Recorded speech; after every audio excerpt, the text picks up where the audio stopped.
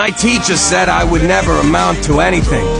So I bought her house in Atlas Earth. Now her land pays me real money and rent every second of the day for the rest of my life. Who's laughing now?